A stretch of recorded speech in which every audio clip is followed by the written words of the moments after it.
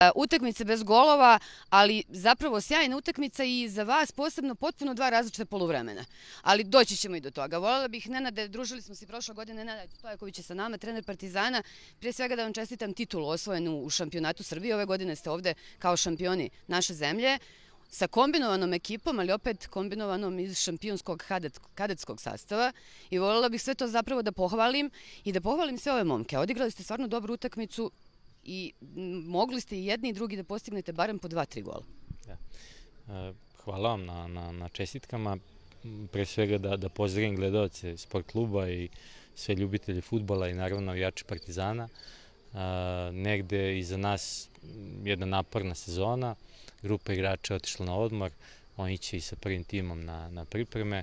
Ovde je m, jedna m, prosto ovo je sada negde na neki način spoj generacije 2005 i 2006 i hoćemo negde da probamo sve što možemo da, da, da, da probamo, da vidimo kako to funkcioniše i kako oni zajedno funkcionišu. Tako da, eto.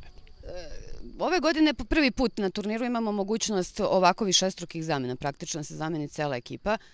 Šta to znači i vama kao treneru, a šta znači njima? Šta, šta neko od njih može da misli u svojoj glavi kad, kad zna da će biti eventualno zamenjen na početku drugog polovremena? Pa jako je važno, mislim, ovo je jako naporno. Ekipa koja, koja, koja eventualno dođe do finala odigraće pet utakmica.